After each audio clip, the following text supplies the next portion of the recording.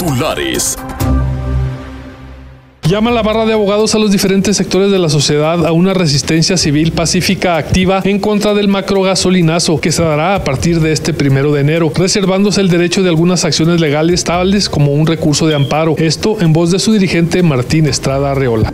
Ante la grave situación económica y la profunda crisis que enfrenta nuestro país y particularmente nuestro Estado, hacemos un llamado a los diversos grupos de la sociedad civil que ya se han manifestado contra el mega, megagasolinazo. Para 2017 se tendrán una serie de situaciones que convierten a México en una bomba de tiempo, al borde de la descomposición social, como son el incremento de las gasolinas, los recortes presupuestales y la amenaza de deportaciones de migrantes, señaló el dirigente de la ODC, Gustavo Pedro Cortés. El riesgo es un incremento de la delincuencia social, que la gente salga por necesidad, hacer lo que sea para alimentar a sus familias. El recorte presupuestal ya lo, ya lo habían anunciado.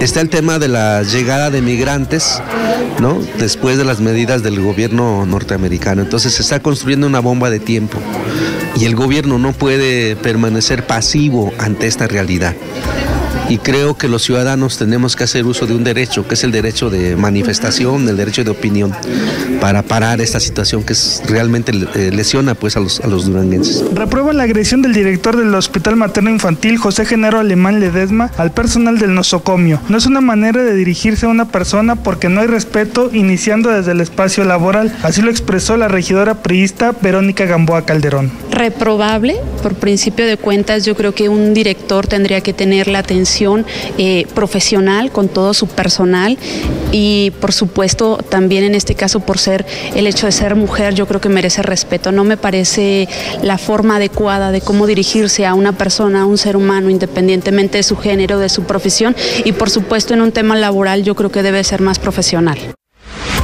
Titulares